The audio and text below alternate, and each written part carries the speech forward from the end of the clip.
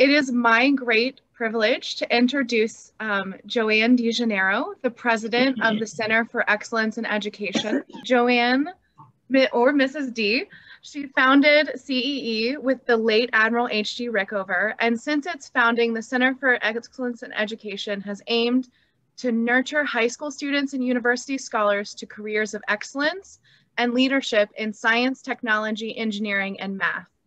And they also aim to promote collaboration among the scientific and technological global leaders.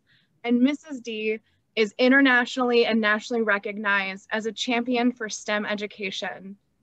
And Joann, we are so happy that you made time to come speak with our young scholars today. I'm delighted to be with you today. I'm the icing on the cake as far as issues related to your application to colleges and universities of your choice. Much of what I'm going to tell you, you already know, or and I intend to refresh and emphasize several of these issues. I know that we have four 12th graders so this isn't as relevant to you unless you have not made your decisions even now uh, where you're going. But I know I have nine 11th graders, and of course I have seven from ninth and 10th grade. So what I'm going to tell you is very real. You know, this is a volatile year, and we're going to discuss some of those issues in this year and some of the issues that will even affect next year. Several of the items I've been working with for 38 years. I know the college admissions issues, and if you want to call it a game you must play, we'll do that. But there have been some, some iffy areas and things that you need to consider more closely. You know, the goal of the whole process of preparing yourself is to prepare you, your wishes, not your parents' wishes, and God knows, not your girlfriend or boyfriend's wishes. You follow your dream and not those of others, that you will be a credit to yourself, your community, and certainly that whatever field you enter, you will not live like death of a salesman in the career, but unhappily so. And you know that even while you're in the university studies, you don't have to know exactly what you're going to do and you can switch gears although you will usually stay in STEM. There are so many opportunities and new things to take care of. In fact, you heard Dr. Jamie Wells talk about a new area that I had never heard of, pediatric engineering. Well, there are many more of those areas, all of them exciting that you need to explore. Now, in your college and university planning, I always suggest a rule of gold, silver, and bronze plateaus. You want two schools in your gold category, four in your silver, and three in your bronze. Now, you can put a couple more in the silver your bronze are your safety schools. Your dream schools, no more than two or three. You know what they are. They're a reach because thousands of students are as qualified as you. At the same time, you are qualified. You've got to go for it. Yet know that life is not fair schools tend to make some mistakes. And I always say if you didn't get into your dream school, although you're qualified, it's their mistake, not yours. Your silver category will have schools that perhaps could have been gold. They are still tier one. But when I say tier one, I want you to think carefully. Too many students and parents look at ratings. And of course, you're thinking ratings in your case, because some of the alleged best schools for STEM are what are alleged to be tier one. And just of those students who go to RSI in order, it's Harvard, MIT, Stanford, Caltech, Princeton, Yale. I doubt that it's different for you students. And the bulk of our students go to MIT, Harvard, and Stanford. What was most interesting this year, this past student group from the 2020 RSI, for the very first time, Stanford was number one choice. In fact, by a wide, not a wide margin, but several students. Um, we're looking at um, reasons why, but I'm sure that's one of the schools you're looking at as well. Now remember, tuition is not your first consideration, although your parents may be thinking dollar signs, period. But the package and the financial aid that you get will take down that amount for the Ivies to almost the same as a good land grant school like University of Michigan.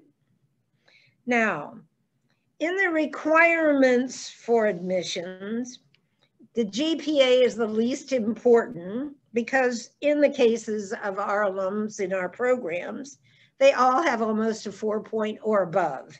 And that's expected of almost all students who are uh, wanting to go to an Ivy. Your IBs, if you are in an IB school, they do look at the demands of the IB, but they do not allow it to excuse you from your long-term impact project or activities. Activities can be globally looked to. In other words, they don't want all activities to be STEM. They want to see a student who is not unidimensional, but can look at the challenges of our planet. And those challenges are multidimensional and multidisciplinary.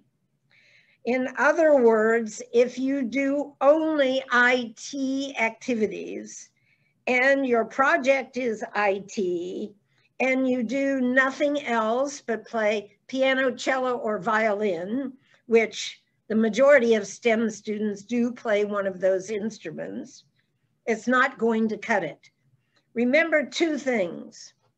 Your application must show uniqueness and creativity. Those variables have not changed for what they're looking for.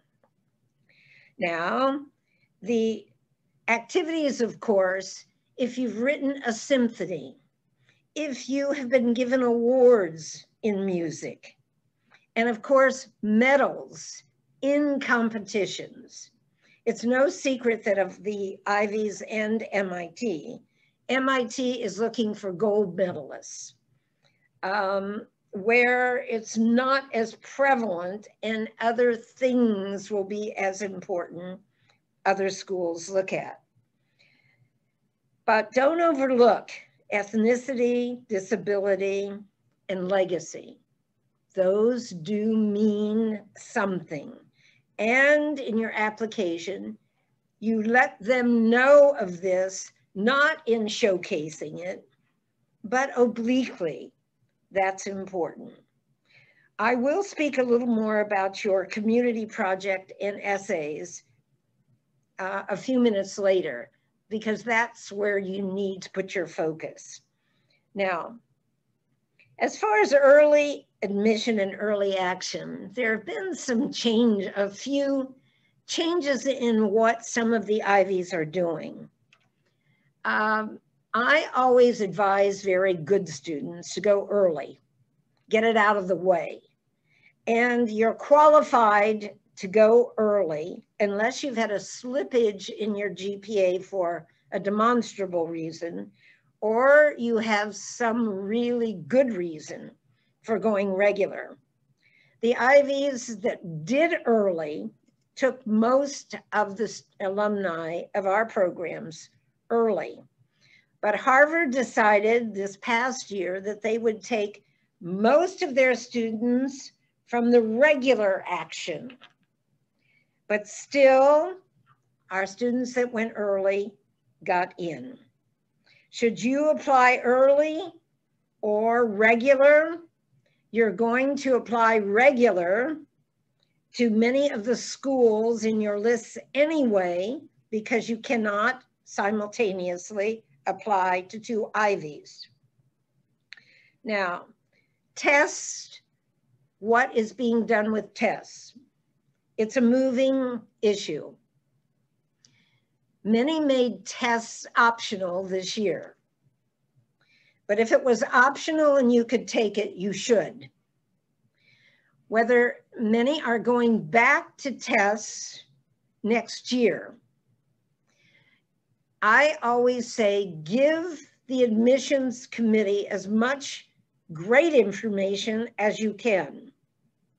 Take that SAT, that ACT, take those APs, particularly take those APs in the subjects of which you are very strong all right? It is not uncommon for alumni of ours. We have even had a few take almost 30 APs and get fives on them. I would say four or more APs, but not just one. Um, and of course, you don't report anything but the fives. Now, the criteria for you basing your choice you need to leave yourself fluid and open. Don't just depend on what you see on the web, but look at the breadth and depth of the institutions and know what it really means when we say a strong liberal arts. I didn't say a strong humanities, but of course you want that as well. But in the traditional the Renaissance meaning of liberal arts. It means those schools graded excellent with STEM and the humanities, the philosophy, the literature, the poetry. Um, those are included in fine liberal arts programs. It's not the largest schools, but you want to look at what kind of curriculum are they offering? Now, when I say look beyond uh, the breadth and depth, how many Nobel laureates, how many Putnam winners are there? Do they have RAs? Do they have the, the people in the departments with whom you can connect to ask questions? Um, this, this is important because you don't want to be a loner and you want to be on top of what the discipline is. How much research money do they have? What kind of projects are going on? Have they gotten some big gifts or are they downsizing their departments? Visit the campus if you can although some of the virtual tours are excellent now. Do not think it's necessary to have a meeting with admissions on the campus. If you visit and you can get the meeting, fine, but it's not going to be held against you. Now, um, another issue is on many campuses, they have offices that help students get summer internships. That's very important because you want to do as many internships with research possibilities. And from those research possibilities, opportunities to co-author what you've done in the summer. look at the postdocs in the Department for Information.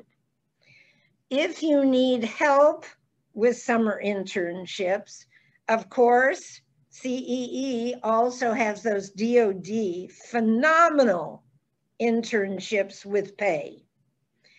If you have the wherewithal and your parents can afford it, and you can get a great internship, but it doesn't pay, fine. But the name of the game is pay for your work. So you're looking for summer internship with stipends, but what are you getting out of it? We initially, years ago, placed students for summer internships with the Department of Energy near the Fermi Lab.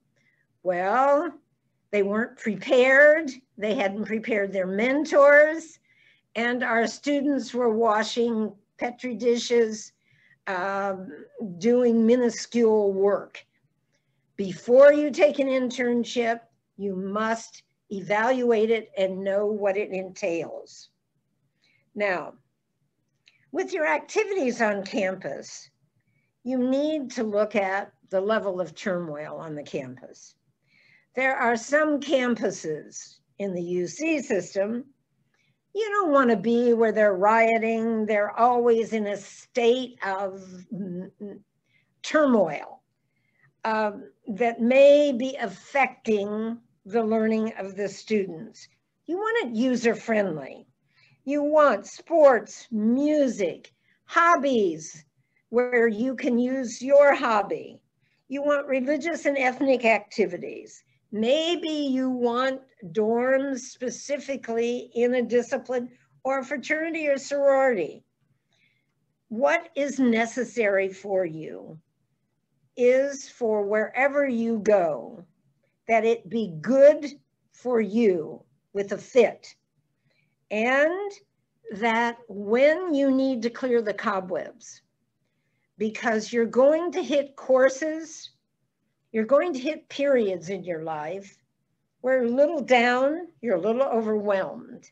You need to step back, get rid of the cobwebs, and take advantage of the opportunities for you to unwind with your hobby, with music, with activities they have on campus. You don't want to stay in your room and we always say what differentiates the creative and unique student from just the plotter. Well, it's the same in test taking. There are some students who are bound and determined they have to get the right answer when they hit a wall. So they spend way too much time on a problem that they could have left and gone over and done well in every other category. You can go against that wall, hit your head several times, but a smart student knows when to back off and go around the issue or back off, unwind, and take a break. I've even had some students say, oh, I want a campus that's and in an area, location where it's warm, where it's cold. I don't want to be too far from home. Um, that shouldn't be the most important criteria at all. Although some say they can't work as well where it's cold and dark most of the time. If you visit the campus with your parents, they're interested in the dorm and the dining hall and the library okay, if you're with them, you get them to look at those things while you're going down the halls of the chemistry building, the math building, whatever, and finding out those important things I just talked about. After the USABO, you go full speed in preparation with your literature search, and of course, there are scholarships you should be going after, small and broad. I wrote, co-authored a book in 1985 or seven, I'm not sure, scholarships and fellowships for math and science students. It's out of date, of course, but there are other manuals and opportunities to get that information. Take advantage of everything you can and look at the financial aid information on the Canvas. Now, I advise you to go to the websites of Mark Kantrowitz, RSI 84, who's known as the, one of this nation's greatest advisors for financial aid. Because you're an alum auricoid of the program, you'll be able to email him, speak directly with him about issues, or if your parents have financial aid issues, they can speak with him. Now, the interesting fact, which sometimes surprises me, that many parents don't involve, or many students don't involve their parents in the decision making. That's wrong. Even if your parents did not go to university, they have common sense. They know how to work in communities and their discipline to grow. After all, they've provided a home, food, and opportunities for you to grow. They have common sense. So speak to them because also they're paying for your education to a great extent. All right, now, you need to think, have you looked at the applications, the common application?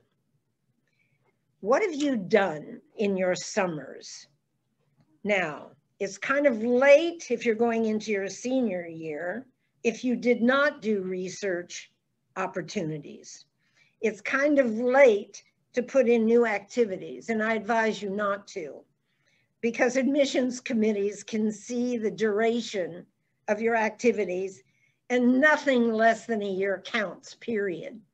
They want to see continuity and sustainability something you have been involved with, maybe a couple of things in an activity for several years.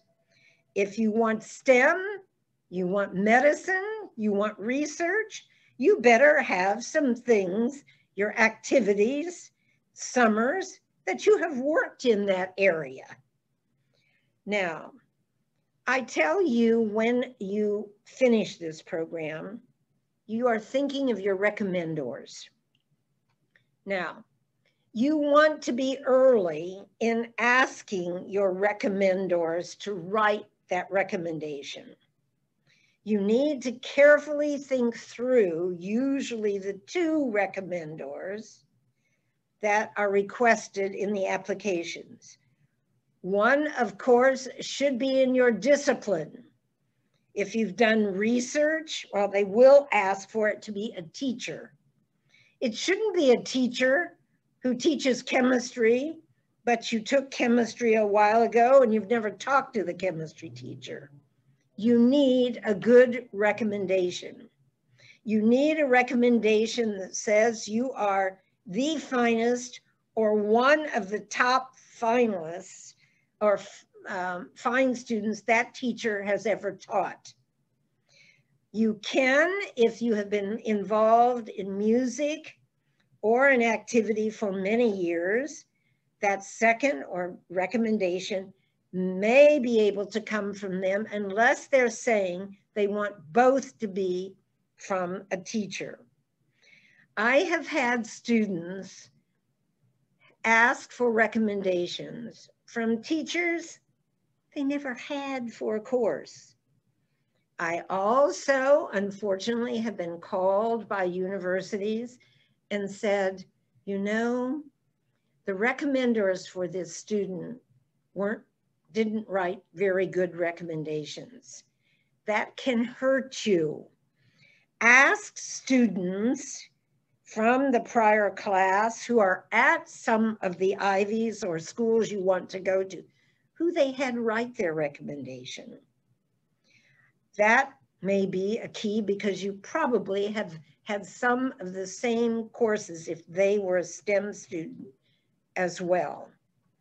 Also, a recommendation, the second one, it's good if it is in poetry, literature, philosophy, logic, because they want to see the multidimensional student. So get your request in early, then maybe a couple of weeks go by and you say, do you need any additional information? You don't bug them, but those that they're writing late, it's like myself. When you're writing so many recommendations, you tend to start saying the same things and you get a little dry. The earlier, the better. Now, also know that the icing on the cake in this case is that the optional recommendation can come from Dr. King or Kathy Frame as directors of the USABO. And this is the gift we give to all students that participate in our programs we write three recommendations per student. So you select the schools you want the recommendations from us to go. Now, the two areas of most import, of course, the recommendations, but there are two others, that personal essay and the impact activity. Those two areas receive the most points. Your essays, of course, the common, the, the listing is online now. Uh, you can opt, I think there are seven or eight options. Be careful to select the option that you best believe you can answer to we say crudely, sell yourself. Okay? Students usually are not braggarts, although you know there are some, but uh, it's hard to brag about yourself. You want to be honest, but they're looking for why you are more qualified or why you should get admissions over the thousands of other qualified students like yourself. They're looking for creativity and they're looking for uniqueness. Your personal essay is not your research. Your personal essay, of course, can be about music. If you've won national competitions, you've written symphonies, whatever. The essay is to show them something different that the application did not cover. So don't repeat what is already given in the application. Of much import, sometimes I think more import than should be, particularly for minority students, is your impact activity what activity have you been involved in that has impact on a community or a, an area more than your high school itself? Are you involved now? Most students tutor. We all tutor. So that is not something you want to feature unless you've written tutoring manuals, unless your activity has impacted by something you did at a, on a website or a program you've presented a series of webinars, but it is not just to feature the mundane that everybody else is doing. There are so many unusual activities to think about that relate to something you've done for years. Remember, The issue is on these applications to work smart, not hard. Your activities, your studies, your goal needs to show a pattern and to fit together.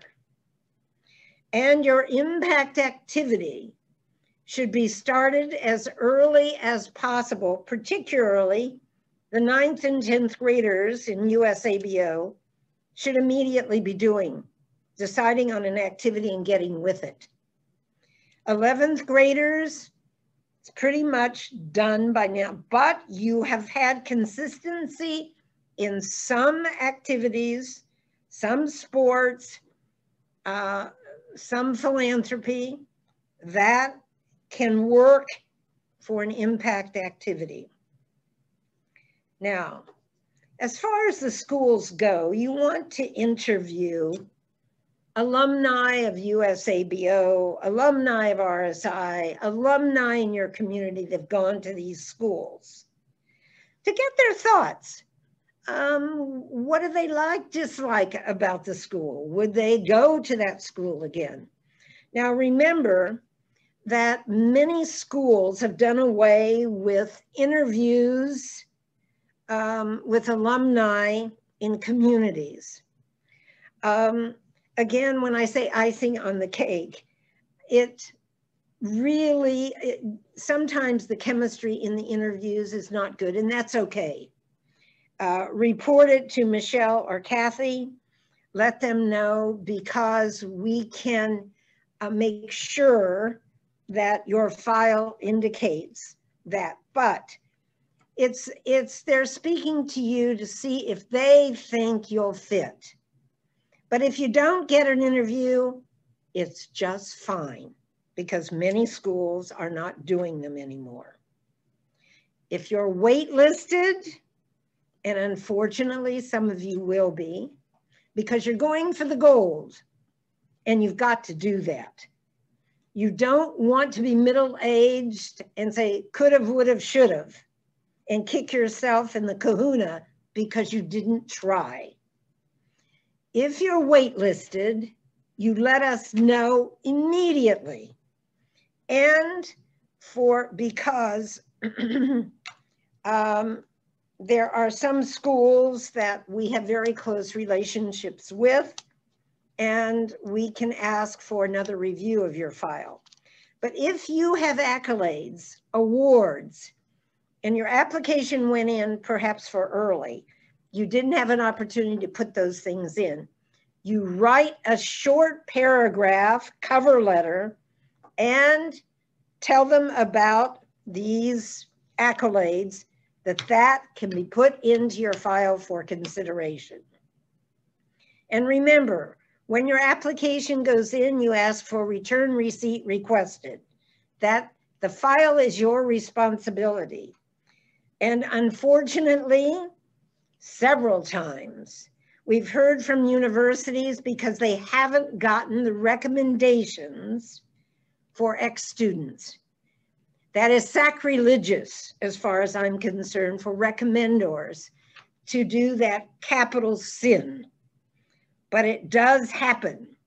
You make sure when your application goes in that's where you really hit on your recommender. Did they get their recommendation in for file complete? Okay, so I'm going to open it up for questions if there are any, but I will tell you, uh, which I will tell you on the end when we finish USABO, that the holiday party in my home is particularly scheduled in December, the week usually that the letters go out from universities for acceptance waitlist. Now, very, very seldom do we have alumni of our programs rejected. And if they were, they made some big errors in areas I've talked about. Um, I know that you won't do that. I don't expect to see any rejections. But when I have the holiday party in my home, we find who is waitlisted, we make those lists, and we do a round with the Ivies and other schools to make sure that your file is reviewed again. That's important. And then students that get in early, um, speak to the students that are waitlisted. Believe when you're going for the gold, you're gonna have some wait lists. Not only that, this is the first hurdle. For graduate school, for professional school, those are even harder hurdles. And some rejections are expected. Um, there are so many CEE and USABO RSI activities for you to participate in over your high school and university careers. Alums help each other with summer jobs. They mentor and staff our programs, as you know. And as a member of the alumni family, throughout your careers, wherever you're located, you have access, if you ask, who are the physicians in this area? Who are the specialists in this, this discipline? So many things to be helpful. And of course, alumni write recommendations if they have already been awardees for the Hertz Scholarship, um, the investigatory, Scholar Simons investigatory. Your alums you will see in the news. Your alums of our programs have achieved significant, awe-inspiring things, which you also will do. So I'm looking forward, hopefully, to meeting you in my home. If we do a person to person, and of course it was Zoom last year, it may be Zoom again this year. But believe me, some of the activities in cities and activities that reunions we have on campus I would like to meet you and I welcome you up into the upcoming family you will join. So with that, let's have some questions that maybe I can answer or maybe I'll ask Michelle or Kathy to feed in. Any questions? Thank you so much, Joann. That was so informative. We do have one question from the Q&A. Um, as someone who has never done research before, does that significantly impact my application? It depends on how strong you are in other areas, if you can sell those areas. If you have not had research because you're in a community or in an area where well, they do have some research from community colleges. Um, it can be hurtful if you are from a metropolitan area or a top school where it is assumed you should have had research. If you are from an area, for instance, um, I'm from a very small town in Indiana. No, they would not expect me to have the same opportunities. But as far as for a course, like if you haven't had STAT, they expect you to take a STAT course online. So um, we'll help you to focus on your strongest points to um, let them know why you're short on any research, okay? You're not gonna be dead in the water because you didn't have research if you can defend it. The next comment is from a freshman. That's Julianne Wu. And she says, Thank you for the insightful information. If time resources are limited, do you think it's more important to become a more rounded student or focus on one discipline and do that really well? Do both. Your, your uh, freshman, sophomore year, of course, you want to home in on your discipline and show that it's strong. But they want to see that you're not unidimensional, particularly those who are focusing on maybe computational biology. Um, they're looking at your activities and certainly your your impact activity that will show you're multidimensional. Okay. Awesome, thank you. So we have one more question is how should we select majors or minors for pre-med? Ah, it's like, you know what I tell when students say, I want to go into business. I want to major in business at Harvard. And I go, fool, it's your responsibility to know Harvard does not have a business major. Now, with majors, more and more because subjects, uh, disciplines are becoming so independent, so dependent on technology and a multidisciplinary approach. You must be careful on selection. You can say in the beginning or on your application, I have not yet decided on a major, but my interests are STEM related and have been for many years. Remember, you can't be excellent in everything, but maybe your hobby has been writing poetry and it's been published.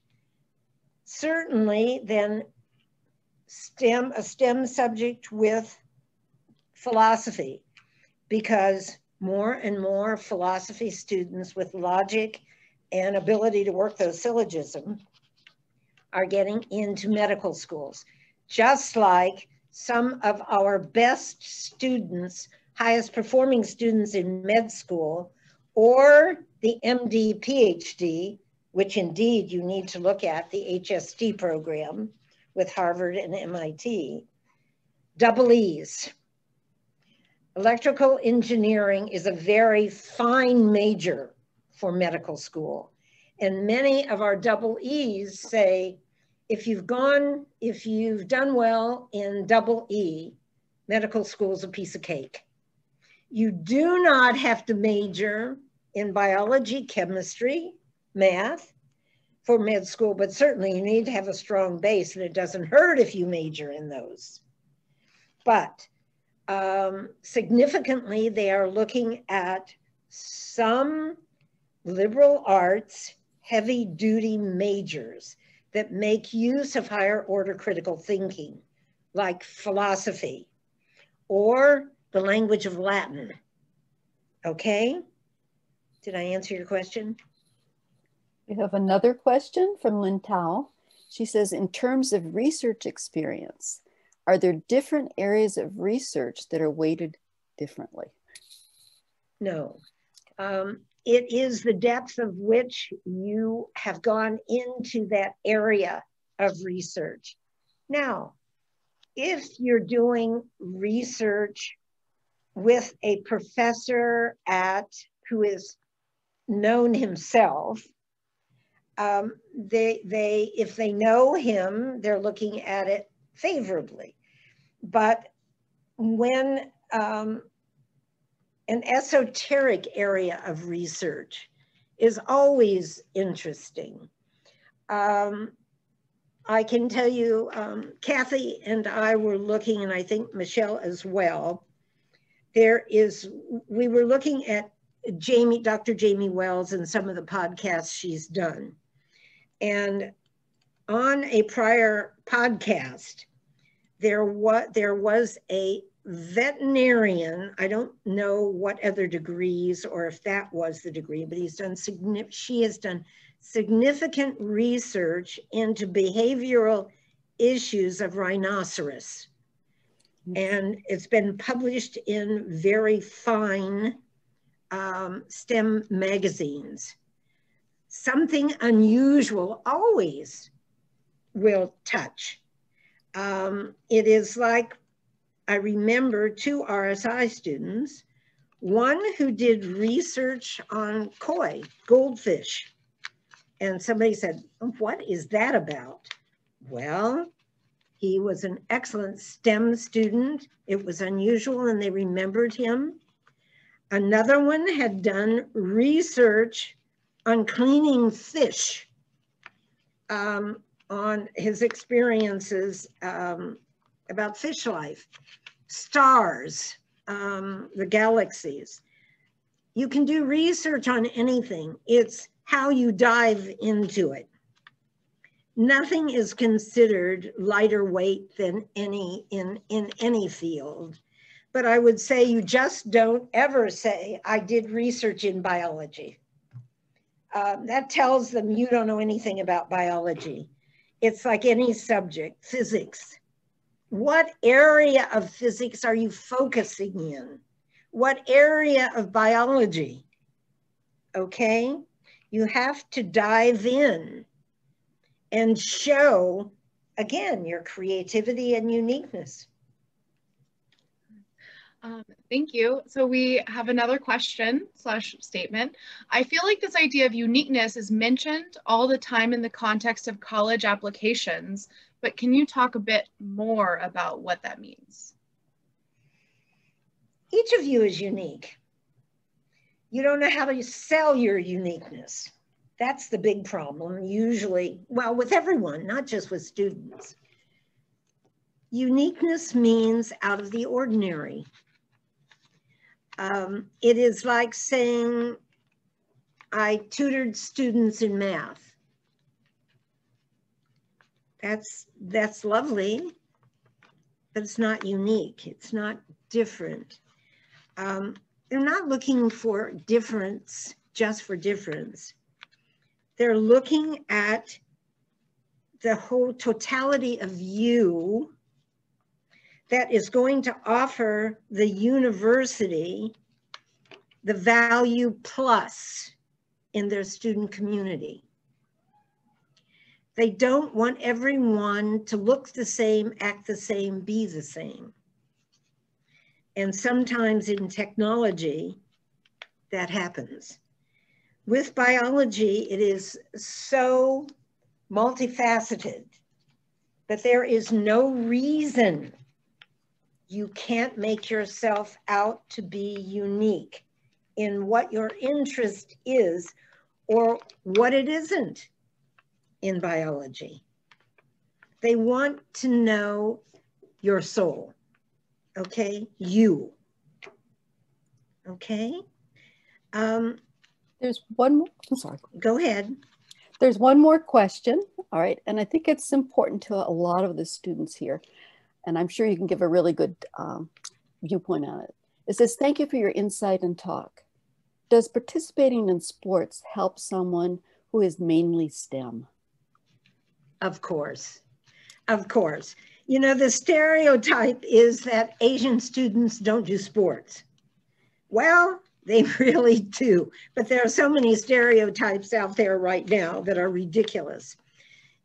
It's not just that you've participated in sports, but that you've been captain or a leader. And I remember a student that picked squash. And I said, Why did you pick squash? Because she wasn't good at it. She said, Oh, because I, I've heard that Harvard was really looking, they like squash players. I said, That is just ridiculous. Um, it can be any sport, it can be an activity that borders on sport as long as it has sustainability. Now you can say, I've played tennis for six years. I love tennis. I'm just not good at it. That's okay. They're showing you have grit. You're showing grit. The best students and those that are most successful are said in much research to show grit that you can take failure, you can take mediocrity, and you can run with it. That you are an elegant winner and an elegant loser. And that's what sports teaches. So, of course, it can help, but if you don't have sports, I will assume you have some other very strong areas or you're batting zero. Okay? Remember, your job is to sell yourself. And we can assist you with issues in marketing, but it's it's you that have to do those essays and you're going to edit and edit and edit and remember it's hard to do your first essays you're sitting there you can't write it's it's like writing a book i will sit weekends can't even get a chapter halfway done then there are times when you can really zoom through you keep at it and with essays your first essay is going to be horrible you're going to put everything down. As you edit, you're focusing and it's showing you what you really want that essay to be. Okay? Thank you so much, Joann. Inspiring. Uh, absolutely now, inspiring. I, I said, kids, um, it's a horrible time for you uh, to be going through this process. Your parents are anxious. Um, you're anxious, you see what's going on on campuses, you're worried about the discrimination of Asians, which um, does exist, but not as much with the Ivies as is said. You're going, you've done well. You've done very well. And look where you are with the Olympiad.